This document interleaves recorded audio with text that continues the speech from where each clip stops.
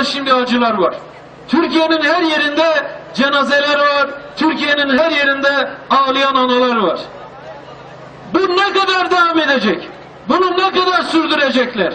İşte o bu ülkede barış isteyenlerin sesinin güçlü çıkmasına bağlıdır.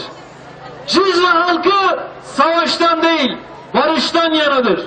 Cizre halkının sesini Edirne'den, İzmir'den, Antalya'dan, Konya'dan, Kayseri'den duyarlarsa bu halkın savaş, kan, gözyaşı, ölüm istemediğini, sadece özgürce barış içerisinde yaşadığını herkes duyarsa ve Cizre halkının sesini yükselttiği gibi barış çığlıkları batıdan yükselirse bir gün sürdüremezler bu savaşı, bir gün. Sarayın bu halka dayattığı savaşı bir tek gün sürdüremezler.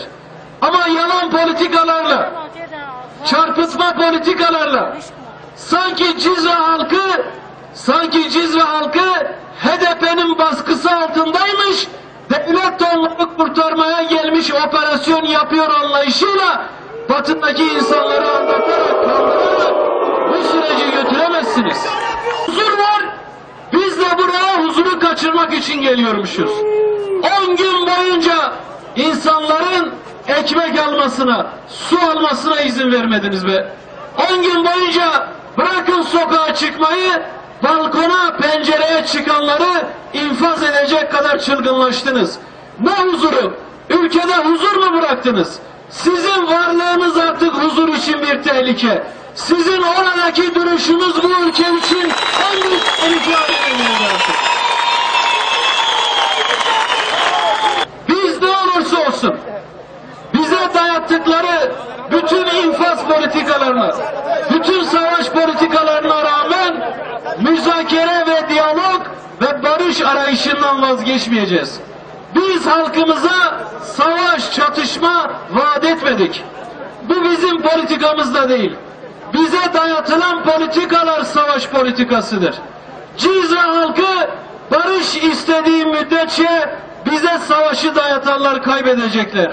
Ankara'da savaştan beslenen politikacılar kaybedecekler.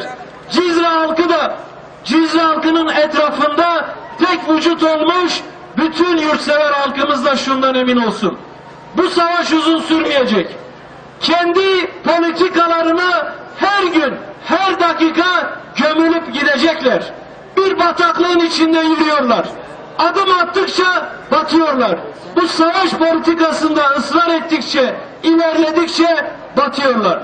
Yeter ki siz birliğinizi, beraberliğinizi bozmayın.